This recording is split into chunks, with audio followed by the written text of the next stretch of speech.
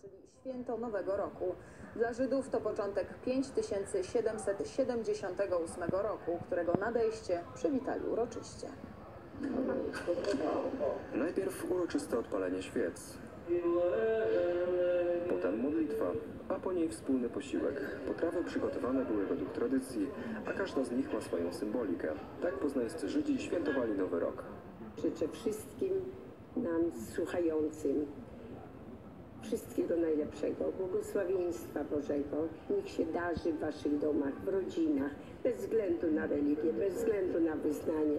Wyjątkowym gościem była Cipora Lucia Kamon, Żydówka urodzona w Poznaniu, która jako dziecko została ocalona z Holokaustu przez polskie siostry franciszkanki.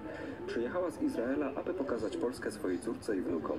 To jest mi bardzo ważne, żeby, żeby wiedzieli moje wnuki też, że dużo ludzi tutaj pomogli Żydom i ocalili ich. To przyjechaliśmy. Świętu towarzyszyło także otwarcie wystawy poświęconej historii Żydów w Pile. fotografie, które się zachowały, dokumenty, mm, co najciekawsze historia konkretnych osób i rodzin.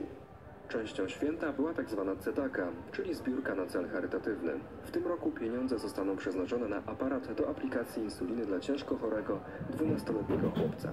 Eugeniusz Romer, Teleskop.